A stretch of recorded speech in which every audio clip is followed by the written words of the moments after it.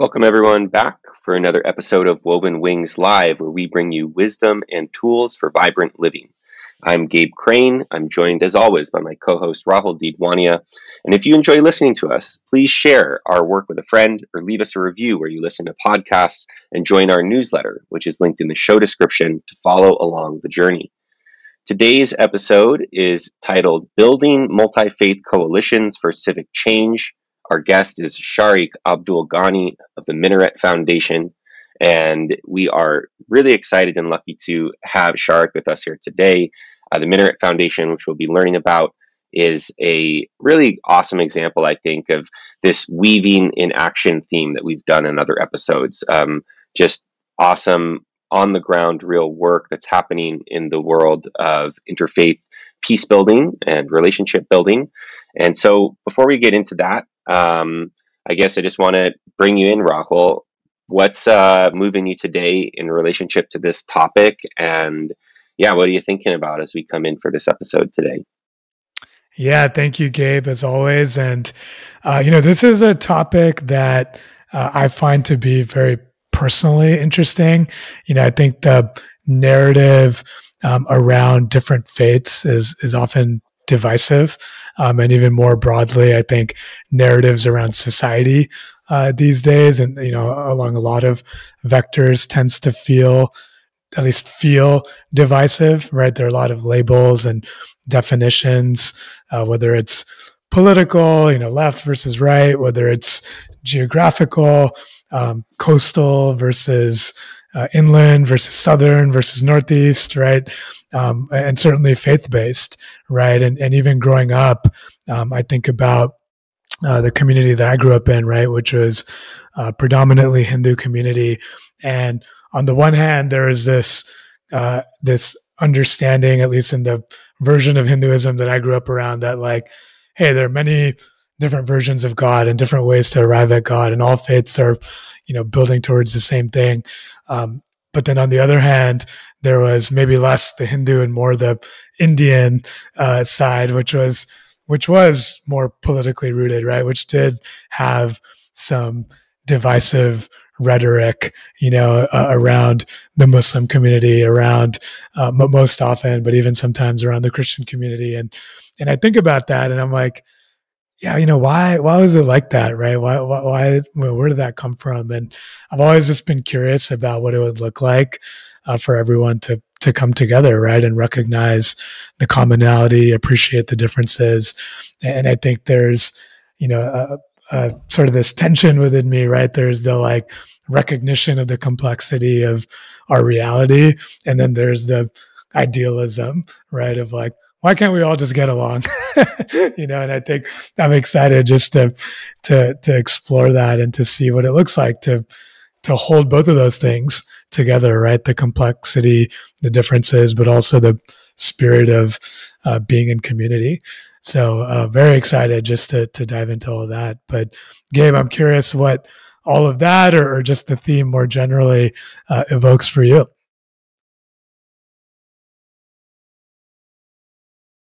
You're uh, you're muted, Gabe. By the way. Thanks. Maybe we can just edit that out a little later. Um, thanks for that sharing that, Rahul. I resonate with that personally, and yeah, you know, I I think on our show we talk about weaving a lot, woven wings. You know, we talk and we talk about that on different layers and themes, uh, whether it's ecological um, or uh, communal and social. And here we're talking about it in the context of religion. And I think that religion, you know, I, I grew up in, in Berkeley, California, and I would say I've, I've gone on a, probably a deeper dive around religion than most people that I know. Uh, and there's a lot of reasons for that. But I think in that liberal context, religion is often seen as the problem or something that's kind of holding us back. It's something that engenders more um, more divisive rhetoric, as you said, more um, kind of more of a perspective that is inflexible and and leads to conflict.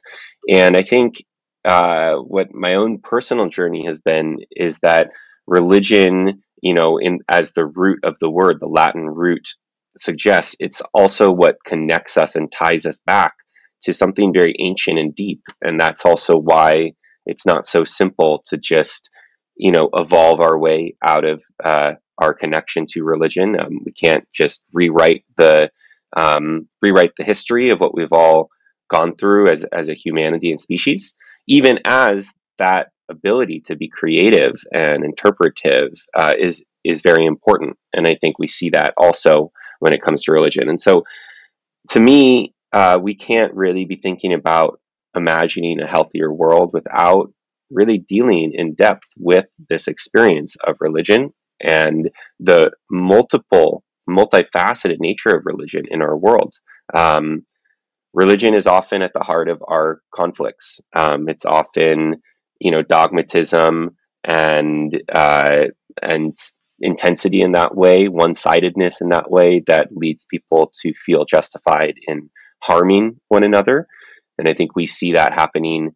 Uh, you mentioned in India, that's happening in India today. We see that happening in Israel and Palestine. We see that happening all over the world. Um, and so I think it's something that's so important and, and core to who we are. And at the same time, it's something that drives our conflicts. And so we have to spend time really to uh, fall in love with it, you know, and, and work it, you know, in the way that, that only love can do. And so, um, yeah, I think that's why it's one reason that it's important. And um, and the other thing I'll say, and, and this we're going to get into as I introduce Shariq here in one moment, is that we often think about religion as these really large and overarching, abstract, you know, institutions or forces. And one thing I really appreciate about Shariq's work is how local he has made it and the Minaret Foundation has made it, how particular um, and specific those relationships become that changes everything. And so, on that note, I want to uh, bring in our guest, Shariq Abdul Ghani. And Shariq is the executive director of the Minaret Foundation, an organization focused on bringing faith communities together through multi faith and civic engagement. Apart from dialogue, dodgeball, and barbecues, Minaret Foundation works with faith communities to change the world through advocacy in food insecurity, child welfare, and religious freedom. Shariq was appointed as the chairman of the City of Houston's Food Insecurity Board and serves as a director in his local municipal utility district, being the first Muslim elected to a position in Fort Bend County. He completed his elected uh, his graduate studies in Homeland Security from the Bush School at Texas A&M, and he is currently pursuing his master's in negotiation and conflict resolution with a focus on peace building from Columbia University. And so, Shari, uh, welcome to the show. Thanks so much for joining us. And uh, before I ask you any sort of serious question, how are you doing today? What's up? Today's been a really good day. Um, we got to meet. Um, we got. To, I, I, got to meet some really interesting change makers. You know, part of the work that I do, you know, bringing faith communities together means I get to meet people in other faith communities. I get to meet people who operate or have tangential services. So met met um, met uh, a vice president of an organization that operates in um, in, a, in, in, a tough part of our city um, that that isn't doing so well socioeconomically, and they provide uh, mental health services to to children. And then earlier before that, I got to meet someone who works within the scope of food insecurity um, with the Episcopalian Church, and their entire focus is working on maternal uh, mater- maternal health from a food systems perspective. So just hearing stories of the work that they're doing, of the types of situations they've encountered, but but solutions, right? Both of these guys that I that I got to hang out with, I was blessed to hang out with today, are working on solutions to counter the issues that they're dealing with. So we're just spitballing ideas on how we can work together, where there's some overlap, and we found some we found some pretty common threads. But more than anything, it's just really nice hanging out with change makers right? Hanging out with people who are just making a difference. Uh, we're not talking about the Astros or I don't know, the NFL. I think that's in season right now. Is football in season? We're not talking about stuff like that. We're not even talking about traffic or how terrible the weather in Houston is consistently. We're finally seeing fall here, by the way. It's only 95 degrees, but that means fall is here. um, we're talking about like people's lives. It's just a lot of fun. Just, today was just a really good day. And the coffee was well, awesome. That, that's great, Shariq. And, and um, you know what? Struck me the first time we chatted is just your vivaciousness, you know, and your excitement and uh, energy around this idea of change making, uh, change making, and and um, really would love to just start with some of the basics, right? Like, what is the Minaret Foundation? Um, what is its mission, and how did you start it, or what was your inspiration? Like, how did it get started? I'd love to just hear a little bit about that story and and uh, your primary focus areas. I um, you know, I, I, was on a trip to the former Yugoslavia with a multi faith group. Um, there's a Lutheran pastor who had who found something in me, which was amazing. Very blessed by it. Uh, his name's uh, Reverend Steve Quill of the ELCA, the Evangelical Lutheran Church of America, and he was putting together a group uh, through his organization called Truth. Uh, very long acronym: Travels Reveal Understanding, Trust, and Hope. Truth, right? It took me a while to figure that out. I mean, it took me a while to, to, to, be able to remember that acronym. But the idea was that you travel together as a multi faith group. I mean, the objective is nice uh, of understanding the role faith played in the reconciliation process post Yugoslavian war. But what really ended up happening is that the faith communities that went, the leaders that went, we really became best buds. We really got to understand and know one another and a lot of great, a lot of a lot of goodness came out of that. You know, before that trip, I was just on an interfaith speaking circuit. I was going to synagogues, I was going to churches, I was going to universities, and just organizations like like uh, exchange clubs, uh, Masonic lodges, places like that, talking about who we are as American Muslims. And the reason I was doing that, by the way, I wasn't a chaplain, didn't have a degree in Islamic studies. I studied Islam for a number of years with Muslim scholars um, very consistently. So I had a I had a pretty decent understanding of the religion, but my background was in public relations. So my goal was to present an American version of Islam, American Islam, the identity of the second generation of American Muslims in this country. And I did that. I caught the attention of this uh, uh of this pastor. Took me overseas. I was the only Muslim on the trip, filled with Lutherans, one Episcopalian, one rabbi, and me as the Muslim, as a token Muslim. And uh, we had a great time we went to Skopje, Macedonia. We went to Croatia, different cities in Croatia. We met with um, former heads of state. We met with their version of city council, their faith leaders, change makers. We also met with war criminals. And there was one individual that we met with in Skopje, Macedonia, right at the gate. I mean, it was it was a, a long day of meetings, right? Um, you know, Gabe and I just recently came back from Colombia, and it was just sometimes it was like four or five meetings in a day um, this was about 12 to 15 meetings in a day. From the morning you wake up to the time you go to sleep, it's nothing but it was like mass productivity. We're just we're just on a schedule. And there's an individual that that came in and he walked into the room. He looked like the typical villain from a Rocky movie, right? Or just, you know, those Cold War 80s 80s action movies where you've got that Slavic villain, you know, from the Soviet Union. He's got jawline that's that's ridiculous. I could cut wood. He's got this buzz cut, the flat top going, and he's got that thick accent that's so stereotypical, it's comical. Okay. And he walks in and he sits down, and this is a guy you would never want to be stuck in an alleyway with. And he tells us his story. Right? He's a born again Christian. He tells us his story. And he says when he was growing up in Macedonia, and the thing about Macedonians, Macedonians ethnically are Christian, right? But the area of Macedonia at that time, at that time it wasn't Macedonia, it was Yugoslavia. But at that time, in that area of Yugoslavia, if you're Macedonian, you're a Christian. If you're Albanian, you're a Muslim. So he grew up across the street, literally across the street from Albanian Muslims. And the Albanians spoke their own language. They ate their own type of food. They had different types of food, right? They went to their own faith centers. They had their own schools they had their own football leagues. They had their own community centers. They had their own swimming pools. They were segregated entirely from one another, though they lived across the street. And the only time they would interact with one another is when the football would go across the street into their yard, right? And they had to retrieve their football or go into the backyard and they had to retrieve the football. That's the only time they had interaction because the Macedonians lived in an entirely separate way.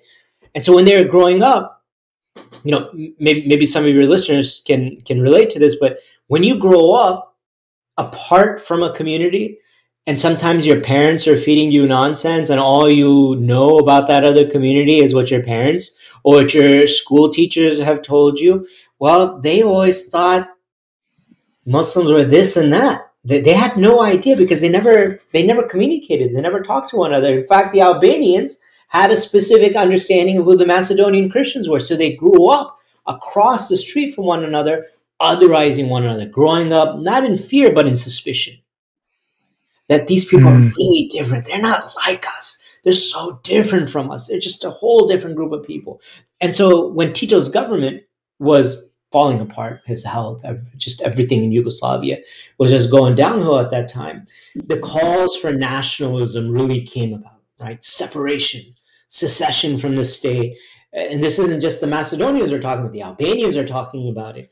The Bosnians are talking about it. The Serbs are talking about it. Uh, the Croats are talking about it. The Soviet, everyone's talking. Nationalism is in the air. It's the wave of the moment because everything was held together by this strong fisted, iron handed Tito communist regime. Everything's falling apart. And so when things are really starting to fall apart, people started talking about what does a Macedonia look like. And the Macedonians got really worried that the Albanians are thinking the same thing and they're going to take over our neighborhood. The Macedonians wanted their area. So now we're talking about split in geography. India, Pakistan, where is the line drawn, right? You had that mass, the largest mass exodus in human history that occurred between India and Pakistan. So it's they're thinking the same thing. Where are the lines being drawn? And so this this Slav said when we started talking about our borders, it was easy for me to have suspicion of you.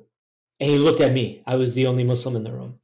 And when the when the media started to cast blame, it was easy for me to blame you. And when the call for war broke out, it was easier for me to kill your people like dogs. And he was a sniper. He was paramilitary. And Gabe, you know what paramilitary is, right? We, we, we learn all about that in Colombia. This is not, they don't play by the rules. These are not people who play by the rules at all. There's no code or honor or conduct amongst them. And he was a war criminal. That moment when he looked at me with the steely, stone cold eyes and he, and he said, It was easy for me to kill your people like dogs, that's when my life changed. I was doing interfaith work on the side. It wasn't something I really took seriously. But when he said that, I understood that that was my life's calling. You see, in, in the US at that time, this is 2010, this is during Obama's time, height of the war on terror. Places are being bombed all over northern Pakistan. The war in Afghanistan is being ramped up.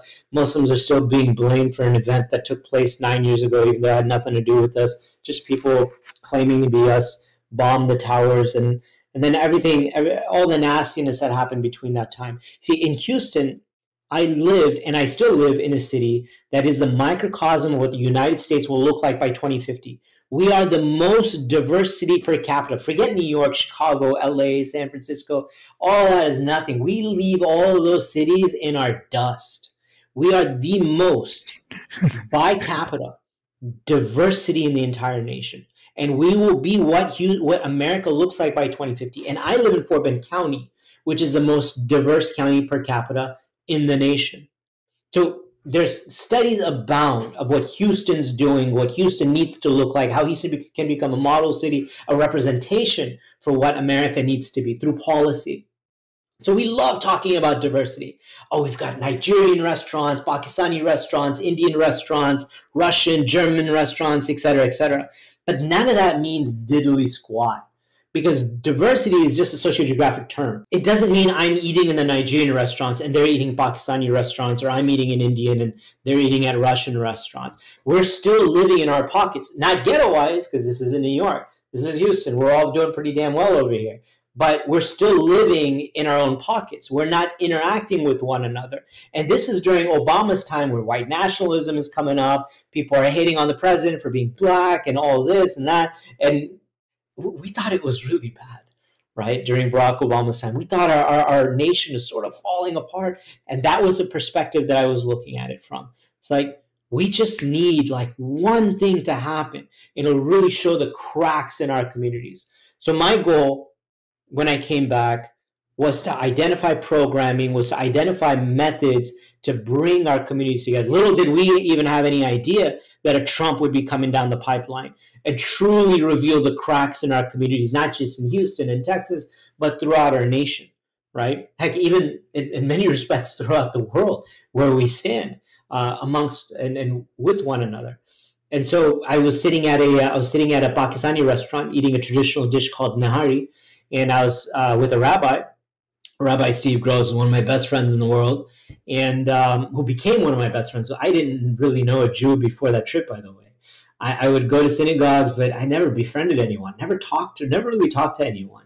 And um, I knew Jews growing up when uh, I was in high school, but after that, it was just no contact until I was about like 30. And uh, and we decided, you know, he told me, he asked me, what do you do during Christmas? I said, we go out for like maybe a Pakistani restaurant, we'll have some family over, maybe we'll watch a movie, play some pool, you know, we, just, we do a bunch of nothing. And then he told me, well, you know, we go to the movies and we eat Chinese food. I, again, I had no contact with the Jewish community. I always thought that was an anti Semitic trope. I thought I was like, you don't say that. Jews don't do that. That's like, that's anti Semitic. You don't say that.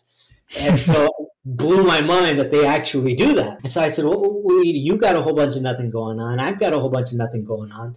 Let's start the Muslim Jewish Christmas.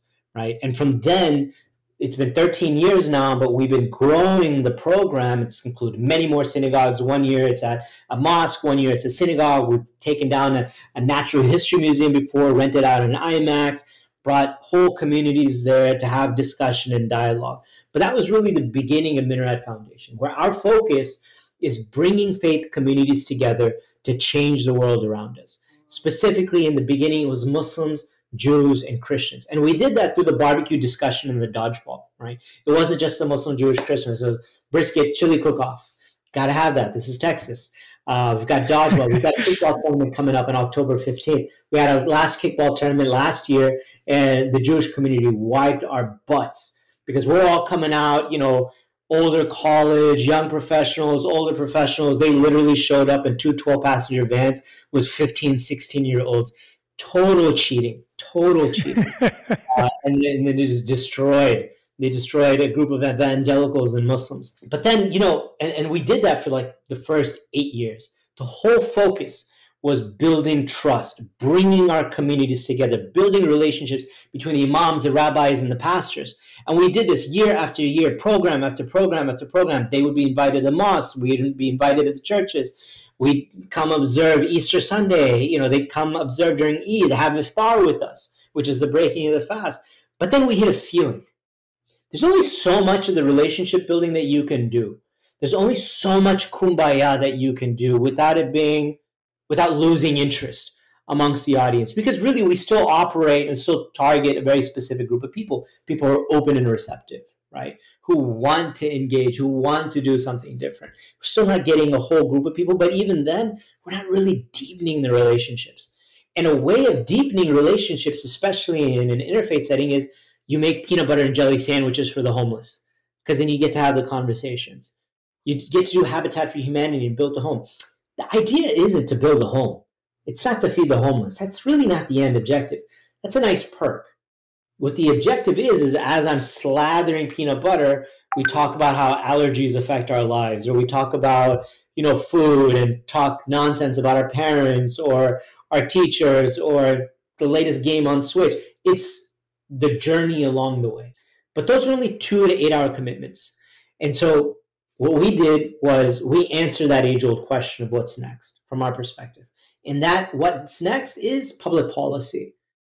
Uh, when you know when you're going to City Hall, when you go to the Capitol, when you're going to Austin, that van ride two and a half hours to the Capitol, and in working in legislation means 18 months of conversations. 18 months of struggle, 18 months of joy and happiness. And then we were able to get five pieces of legislation passed this past session. The first Muslim organization in the state of Texas to do so in 20 years, by the way. But we did it with the faith coalition of Muslims, Jews, Christians, Hindus, Sikhs, right? We all came together to work on public policy that affects children because we, we operate in three areas child welfare, food insecurity, and religious freedom. And the, the last thing I'll say in a very long winded fashion that I just realized um, that I've been is that we can discuss our similarities and our differences all day long, but unless we're adding each other on Facebook, unless we're talking about our struggles and our difficulties in life, unless we're inviting each other to our homes to eat and dine, it's still diversity. It's not plurality. So getting these laws passed is nice, but it's not the goal. The goal is that van ride on the way to the Capitol, where our congregations come together and hold up signs and lobby in offices, and then we celebrate together and we dine together. That's really where the relationships start to form. That's where people come together. Epic Shariq. Uh, thank you so much for sharing all of that. Um, there's about like 20 or 30 different offshoots. I feel like I could take this down, um, but it's just you know just getting like the overall picture. I think you you summarize so much in what you shared that is really powerful. One question I have coming up is the role of faith specifically. Um, a lot of what you described, I feel like you could bring different ethnic groups together or um, people in diversity from a, from a range of demographics. And specifically, your organization focuses on faith and um, the role and importance of faith. And kind of as I said in the introduction, I think that's probably polarizing. I think that draws people of faith to that or certain segment of that population. And then people who are not of faith, so to speak, or maybe spiritual but not religious, maybe it turns them off or they don't feel part of that group. Um, another component about that is I think when you look out and read the headlines, again, as I noted in the intro, in the world today, faith and religion is often the battle cry for violence or for division. And I'm hearing such a different representation in the programming you're talking about, where faith is the vehicle for service. And so this is a two part question. First, why focus this uh, diver this this deepening work, this community building work around faith specifically, and two, how does that faith orientation how, how do we change our faith orientation in the world from fighting and talking about how my religion is right and it's fundamentally opposed to what this religion says, so therefore I'm at war with that religion, to um, to service, as you said, which from what I can see from my vantage point is also very foundational to pretty much any faith tradition that we have on this planet is this notion of service but when you read the headlines, that's not what we are focusing on, right? People are not going out to give each other bread and uh, and shelter. They're going out to to demonize and and yell at and and sometimes kill one another and take their land. And so, how do how does this work make that transformation happen? And why does focusing on faith itself facilitate that? Yeah, America was founded on principles of faith. Um, I am a deeply spiritual person, or I, I, I, hope to be a deeply spiritual person. That's the way my parents have raised me. Um, Texas is a deeply spiritual state. Uh, faith, the separation of the notion of separation of church and state, it might work well in California, Washington, Oregon, New York, but it doesn't play well here we start our meetings off with a prayer. And I'm not talking about a Minaret Foundation. I'm talking about county government, city government, state government. You'll always have a pastor, a mom, or a rabbi, someone come in and uh, and and lead an invocation. And more often than not, we'll actually close out our meetings with an invocation. The word God will be littered around all throughout the spread around all throughout the meeting. You'll have you'll have faith leaders come in and testify. This is very normal for us. Um, so faith has a huge, huge, it, it, faith is a huge driver of change in Texas. Our faith leadership are involved in politics. And you'll see this all the time as negative mention that a candidate went and spoke at a megachurch. For us, we see that as that's awesome. They're reaching the people where they're at but others see that as Christian nationalism or Muslim nationalism, or they shouldn't be doing this or they shouldn't be doing that. But for us, this is just a part of our culture and our fabric. Yeah, I remember talking to coalition members in, in, in Portland, and uh, I, I, remember I was telling them I'm getting ready for a vacation that I'm doing at a, uh, at, at, at a commissioner's court, county commissioner's court, and they just stopped. They're like, what? That's true? That actually happens in Texas? I just go on to just just like, ah, this should be a separation of church and sin. I'm just sitting there like, oh my God, you guys are living in an entirely different world. You need to be in my world where we're tolerant of one another. We, we don't just claim to be liberal and progressive. We're actually living out our values and saying, hey, we should we should tolerate one another and we should respect each other's values. With that being said, you know, it would shift over to something else that you said. And I hear this all the time. faith becomes a battle cry to hate one another and to rally against one another. I believe that is a false notion, a false framework that has been put onto us. That's not the actual truth. In fact, in almost the same sentence or the same breath, you also mentioned that faith, that service is such a big part of our faith communities. That is accurate. And what I'll say is, is that there's there's powers that be, whether we see them or not. And I know this is going to sound very conspiracy oriented, but goodness, there are so many people in Washington and in other parts of the country, leaders throughout our nation that would rather see us divided than come together. And so, this divisive rhetoric that our politicians will use, that our media will use, no matter how conservative or liberal they are, they'll all use the same language that we're divided, that this is happening, that's happening. And it's just not true. Because when you look at our programming and you look at the way that we come together, not just in our work, in our interfaith work, we look at the interfaith work that happens throughout the nation. We don't care about this stuff. What we want to know is where are kids going to go to college? Do we have food on the table? Do we have a roof above our heads? How is our health? Are we getting the treatment that we need? You know, what movies are coming out? Who's winning the ball? That's what we really care about. Caring about, oh, you're a Christian, you're not on the right path, you're a Muslim, you're an infidel, you're a Jew, you're just no one really gives a just no one gives a hoot about any of that.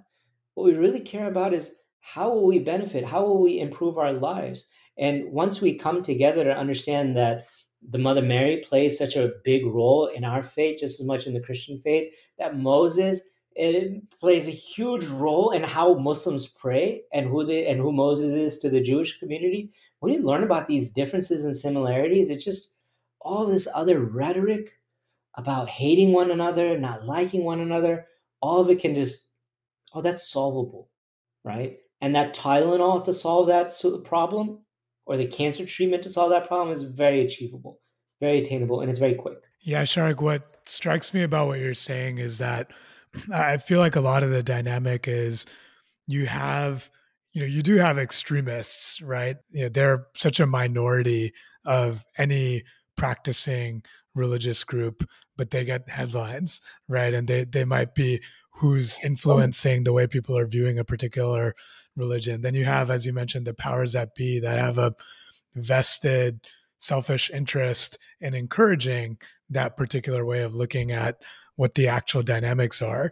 You know, and we were talking about India, Pakistan, and it's like the, the media, you know, the, the, the common coverage is, oh, they're always at odds, they're always at odds. And it's like, well, okay, you actually go to some of these communities, you know, where my dad grew up um, is a town called Ajmer. And it's like, it's, you know, it's in India, a lot of Hindus there, but also has this like giant Muslim population. And in some cases, it's divided. And in some cases, it's actually pluralistic where people actually mix. And it's, you know, all of this is to say, I think there are, you know, a lot of different realities. And what I love about what you're saying is that hey, actually the base reality is people have bigger fish to fry. you know, they have other things on their mind and and they're actually united by the common human challenges, you know, that we all face and that we all think about, right? And and you know, you named quite a few of those and I think that's such a um important reminder, right? That hey, like those are the things that we're actually thinking about collectively, you know, more than some of these things that we might, might be made to think you know, are the actual problems. And so as uh building towards actually the question that I had for you then is you described a lot of different ways that people are coming together, uh, you know, interfaith uh, through everything from play, which I loved. I love that that's where, where Minaret started, you know, as an entry point to, to building connection and building trust. Um, and then that it went into something deeper, right? Actually working on projects together, uh, working on community building together through policy. And, and I'm curious, like, what does it actually like look like for these leaders to come together that that's different maybe from the way that people perceive it? And once, the leaders that you work with or just in general that these interfaith groups work with or, or, look at you know once they come together how does that reverberate throughout the community uh, you know even the people that are not actively participating in these programs uh, what does that halo effect look like so i'll, I'll pause there it, it, you know, you know it, it's funny that you bring that up because it's not an immediate impact. There's multiple ways that you can go about. Well, there's really two ways that you go about interfaith. You go to the bottom approach or the top down approach. So you go from the clergy downwards, or you go from the congregants upwards. Um, our approach has been sort of a mix, going from the bottom up, top down. But the majority of it has been going from the imams, the rabbis, and the pastors. And what we hope is our relationships trickle down to the congregations. And the way that we do that is by doing pastoral exchanges, right? Or clergy exchanges in each of it. So we've got the imam that goes to the church, the, the pastor that goes to the synagogue, the rabbi that comes to the mosque. And we do these sort of trilateral exchanges so the congregants themselves can see that they're talking to one another and they're because it's different you know you know this is a big oil and gas city houston. So i mean in oil and gas there's a lot of muslims jews christians we all work together right? Not we but they all work together. They don't really talk about religion right? Because uh, we discourage m- much to my disdain we discourage talking about politics and faith in the workplace. I don't think it should be that way. Those two biggest factors should be discussed or it should be okay to discuss these types of things. But we don't discuss these types of things. So while I might sit next to a Jew in a cubicle on my right and a Christian on my left, we don't talk about who we really are because faith is the core essence of so of, of the faithful, right? This is how we live our lives. It's how how we build our morals and our principles. Um, so when when we have these types of events, whether it be the barbecues or the kickball tournaments or just these open dialogues, um, it I, I find that people find it to be refreshing. They always leave with that cliche statement, "Oh, we always have more in common than we don't." That's good to know. It's, everyone says that. It's the same thing that everyone across the board says. um, but it, it it circles out in that you know if we do it once, they might say it once. But if we do it several times and invite the same people over and over again, invite them to new activities, new opportunities, new ways to interact within the same ecosystem, of their community and different faith communities, then it, it becomes more than just words. It becomes a Facebook ad friend. It becomes a, oh, would you like to go out with me? Or, oh, hey, I got, I've got a few spots left on my fantasy football. Would you, would you like to participate? Things like that. And that's really, those are the good metrics. Hard to measure, but those are the metrics that we want to achieve. We want to see us three here right? A Rahul, a Gabe, and a Shariq on the same fantasy football team, or throwing balls at one another, throwing dodgeballs at one, doing it in an unstructured environment outside of a Minaret Foundation program, where they're doing it on their own. Um, it takes time and it takes repeated contact. It's not a one one time. It's not a one time issue because, like everything else, we've got so much going on in our lives, right? So we sort of have to babysit the relationship just a little bit. I want to go back to this idea of extremists and dogmatists because and, and juxtaposing it to what you just said, Shariq, of this unstructured, difficult to measure, and maybe that's part of the question here too, interaction and deepening of relationships. That's when we get to that cliche, but such a lovely cliche, right? That we have more in common than we realize that actually those stories, those forces that have profited off our division are not making a home inside each one of us, you know, and are actually uh, that that is illusory. That's a great ideal, but then you know, thinking about my own experiences traveling around, it's not uh, you know whether it's in Israel or in my synagogue in Maui. Uh, it's not the extremists always that are not a bunch of nice normal people and then someone in the corner that you're like oh that guy's definitely the extremist. Uh, you know it's it's actually scattered through everyone's commentary in a host of little statements here and there about like what came to my mind is during this conversation is the distrust i hear in my jewish community in maui of the so-called messianic jews or basically christians uh, attempting to convert them or something to Christianity, and therefore not being open or interested to have interfaith activities with Christian groups, which dominate our island. And these are not uh, extremists in the group. Again, these are like normal people who are thinking in a type of group think that's been culturally normalized that that is a normal, healthy way of thinking and not a piece of dogma or extremism. How do we root this out?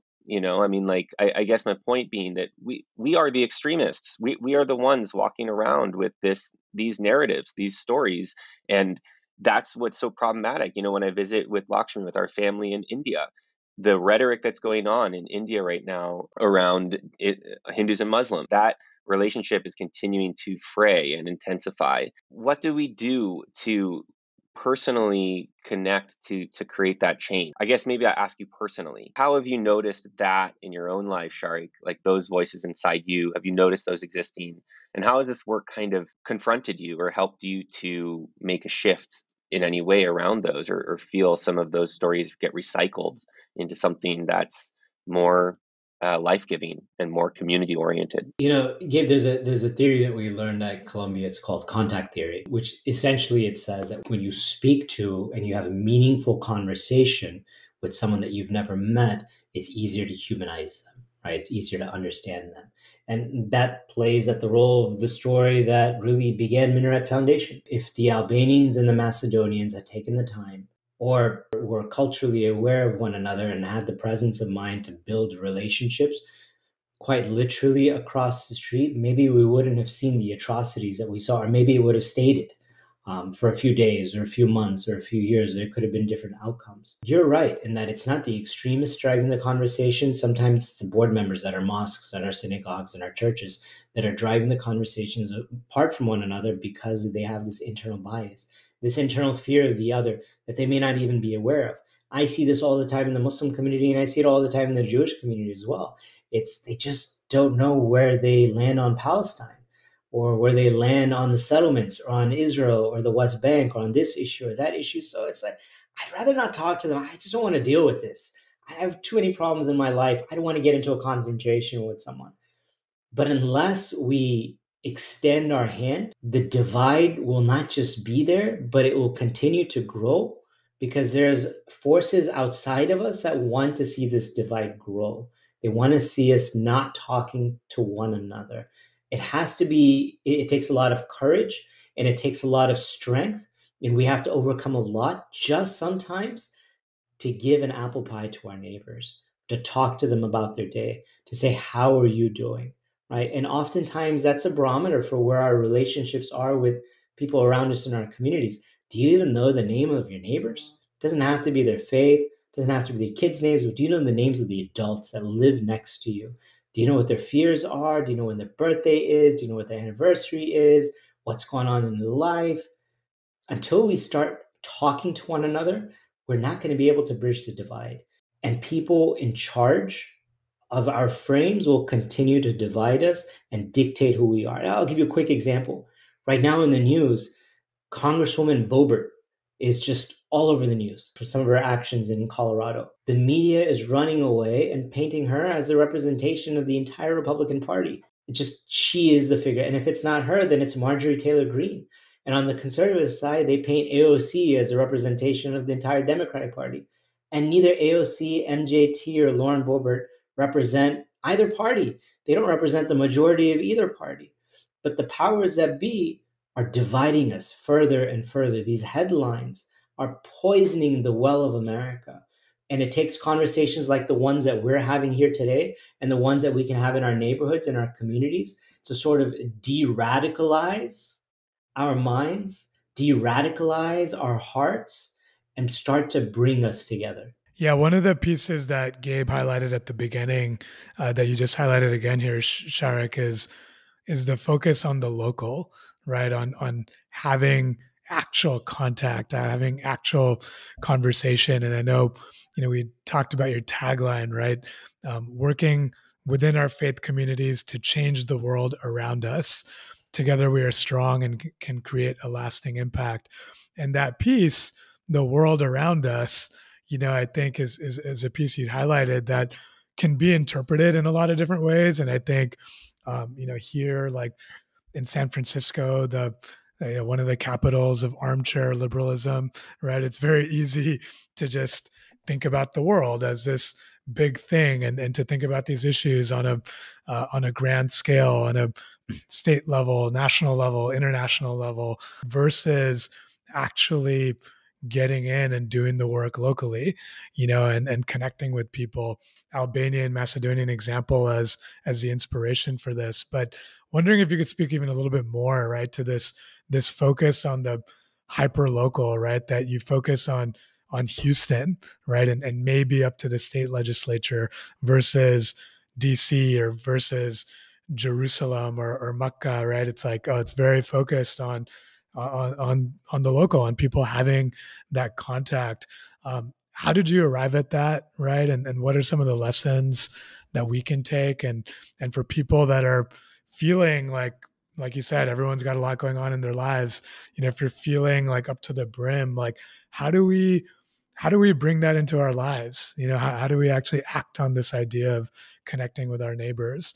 You know, simple as it is, like what what does it look like to actually get there? Well, you know, our, our geographical focus is bound by you know our funding streams, but also where the most impact is.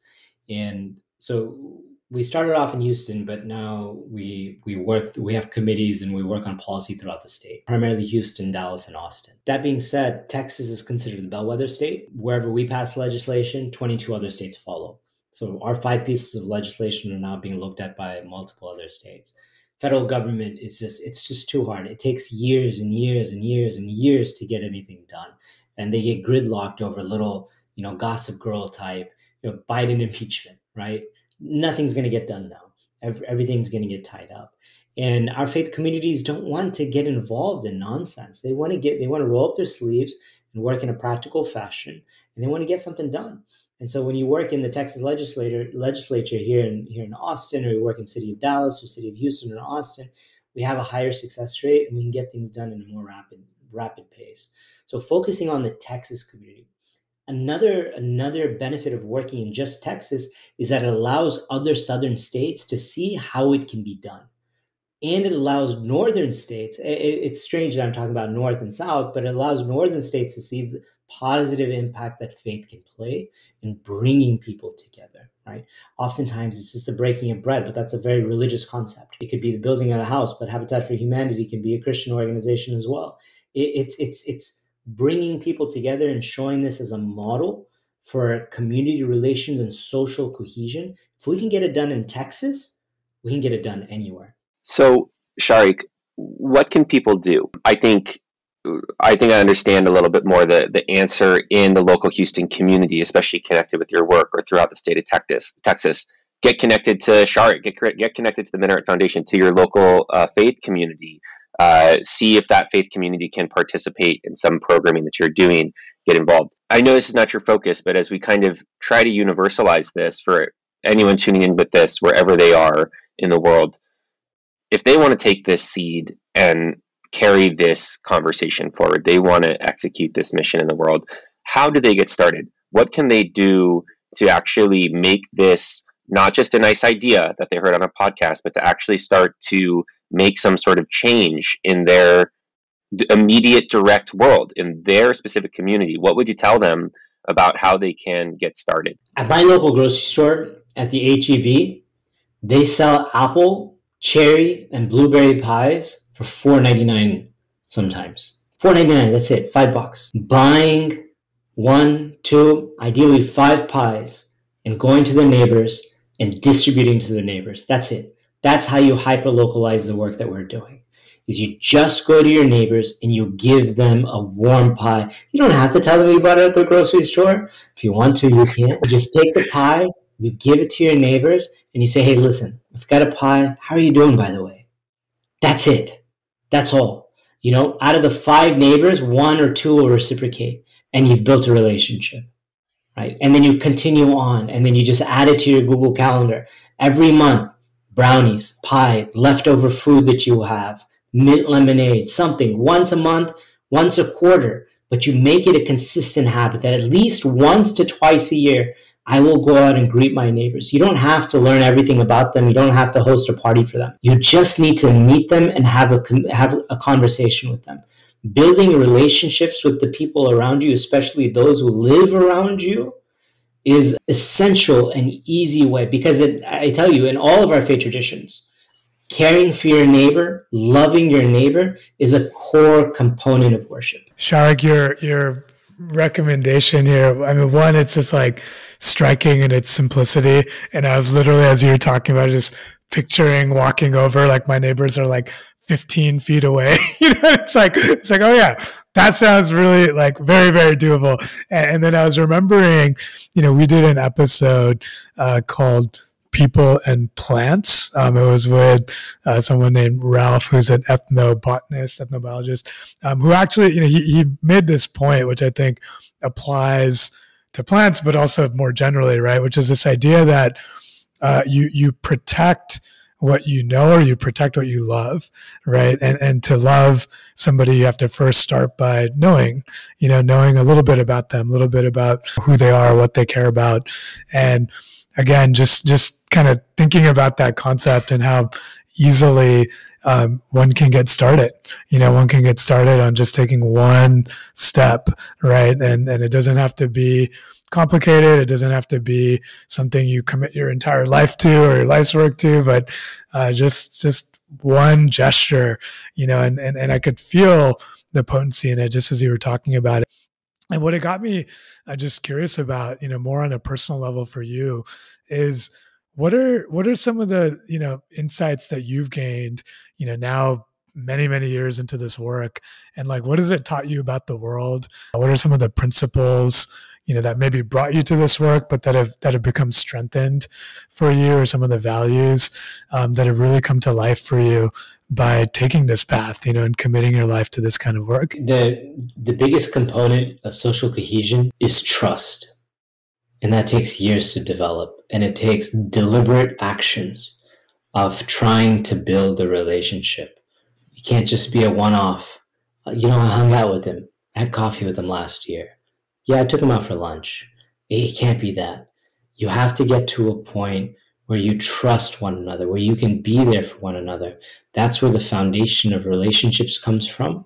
But that's also how we build it to the next generation because it's not just about us. We have to, you know, it's a succession planning as well. How can we leave America in a way that's beneficial for our children or our grandchildren? And it's by setting them up, laying them up with great relationships that they can then leverage to create even greater relationships and for changes all in the communities around us. And how about just like one layer deeper on that, Shariq? I'm curious for you if you personalize that, you know, whether it's trust, that deliberate action, how is this? Can you give us an example specific through your own experience around how this has kind of changed you and deepened you in your own in your own journey, you know, through life? As just a not necessarily as the director of Minaret, as this changed leader in the world, but just as a human individual. Where has this led you personally as you've kind of gone along this along this path? Gabe, that's a heavy question. That's a really heavy question. Man, I want to be Johnny on the spot with an answer for that one. You don't have to be Johnny on the spot. yeah, whatever's real. Just in abstract terms. I mean, it, it leaves me with a sense of curiosity for other people. Um, just not judging a book by its cover, getting to know someone, just being in continuous awe of how little I actually know about the people around me. I, don't know how to answer that question. It's, just continuous curiosity I, I think that's the you, you, know I guess when you're younger, oh, damn, I, I am I in a position of life where I'm saying that, but you always think you know everything and you know what you know and you've got it down. I feel like I don't know anything anymore. Um, I'm just still trying to grasp who people are and what relationships and trust looks like and where we need to be in the future. Um, I just feel like I don't know anything anymore. I'm just continuously curious that's that's where it's resulted for me. But yeah, no, I'm sorry. I, I, don't know how to answer that question. Damn, that was a good well, one. Well, I, I, think you just did, right, in a way. And, and I think the humility um, that you both spoke to, but I think more generally that you embody uh, is so central, right, to not just cultivating or creating the the bedrock in which that curiosity can thrive, but I think that um, that your entire story and, and work can thrive, you know, and I think uh, I can say for myself, just hearing that and experiencing that with this time with you, uh, you know, has been really inspiring, right? Because I think uh, very often, uh, what I find even for myself, right, to, to what you said, Gabe, there are these like stories and, and narratives, right? And even if I'm not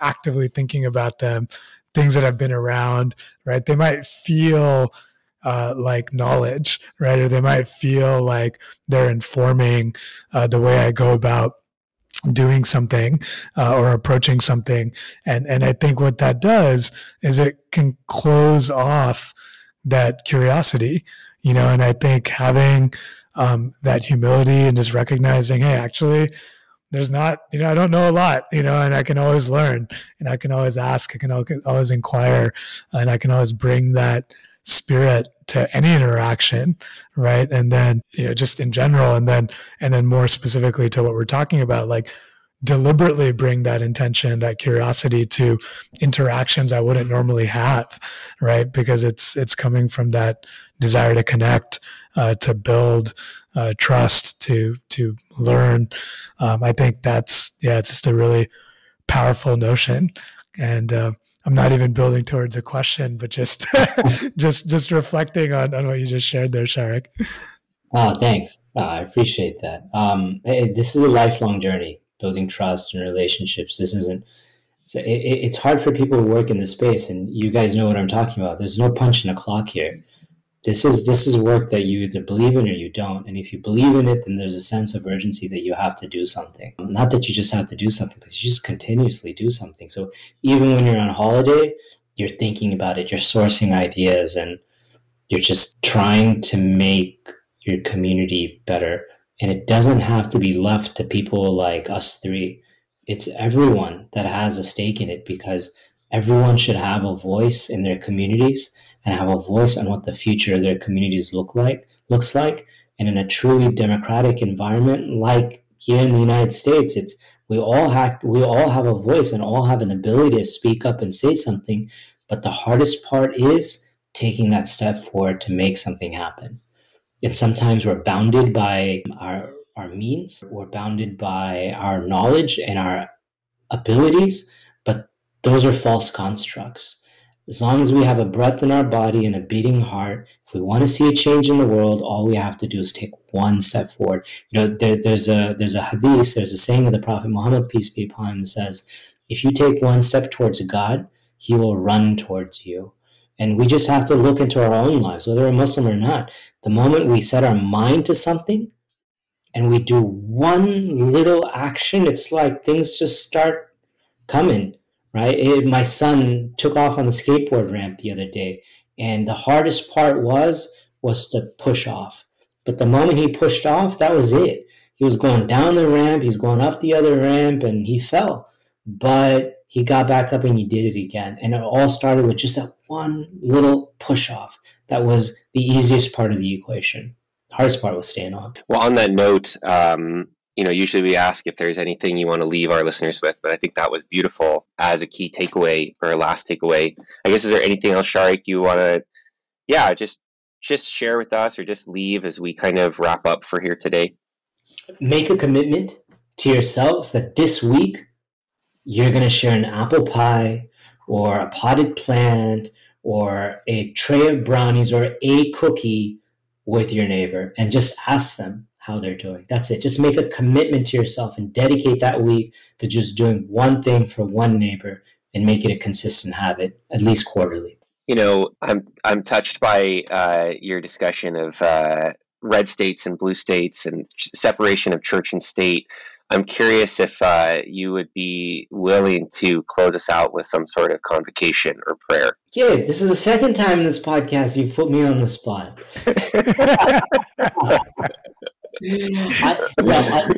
I, will mention a, I'll mention a brief prayer. I'll ask you all to, to, to share your hearts with me and pray. And God, we, we, we pray for our nation. We pray for the success of our nations, for the success of our communities, and the success of our families.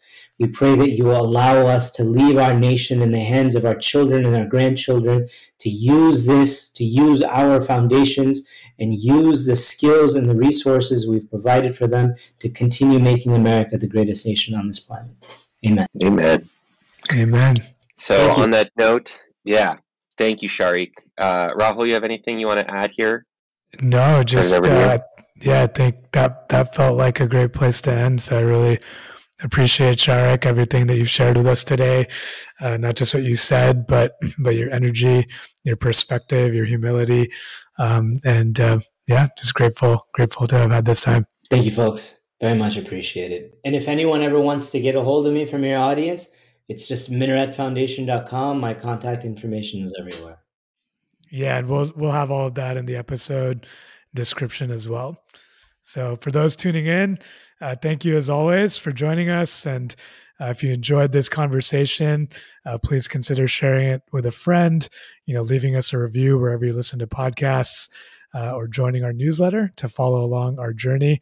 And uh, thank you as always for lending us your support. And uh, as a reminder, you know, just want to emphasize Shariq's challenge uh, or, or, invitation or encouragement for all of us uh, to just go out and uh, do one act, one act of kindness, one act of uh, you know seeking connection with one of our neighbors, and uh, seeing what comes from there.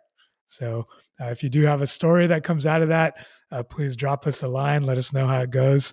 And until next time, thank you all again.